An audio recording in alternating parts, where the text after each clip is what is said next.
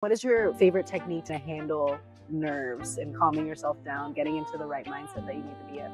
Yeah, so I have different books I like to go back to, sports psychology books, but the main takeaway is like once I feel those nerves, I just embrace it. I don't try to shut it off.